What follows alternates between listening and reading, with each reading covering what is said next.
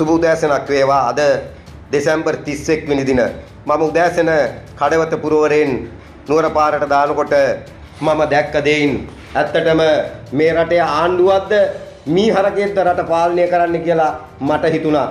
Gas ටික ගන්න මිනිස්සු 350ක් විතර පාන්දර තුනේ ඉඳලා පොලිමේ ඉන්නවා ගෑස් සිලින්ඩරයක් ගන්න. යකෝ මේ රට කරන බූරුවන්ට කියනවා තොපිට බැයි නම් ඵලයව්.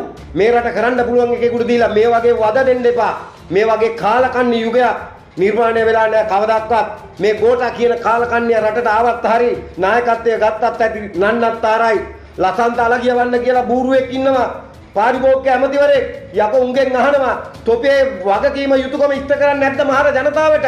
තොපි මහරින් නේද ඡන්ද ගත්තේ? අර සහන් කියලා එකෙක් ඉන්නවා. මුන්ට පේන්නේ නැද්ද අල්ලපු වැටේ ගෑස් කඩේ තියෙන්නේ? මිනිස්සු පොලිමේ ඉන්නවා. මුන්ට පේන්නේ නැද්ද? යකෝ මිනිසුන්ගේ සහන සලසිපියව තොපිට ආණ්ඩුවක් දුන්නේ.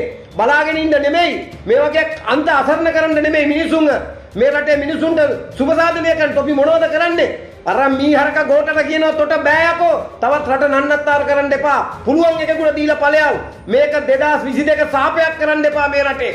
තොපිව එලෝගෙන එලෝලෝ ගහන යුගය නිර්මාණය කරන්න එපා. කියන එක අපි කියනවා. බලලා ඇවිල්ලා බලපියව කඩවතට ඇවිල්ලා. මිනිස්සු පොණිමේ ඉන්නේ කොහමද කියලා. මිනිස්සු පාන් පාන් පෙත්ත අරගෙන කනවා. උදේ මං එනකොට ලැජ්ජයි යකෝ තොපි වගේ මීහරක්ට රට දීලා අද මිනිස්සු විඳවනවා දකින්න සක්කිලිම හැත්තත් තොපි.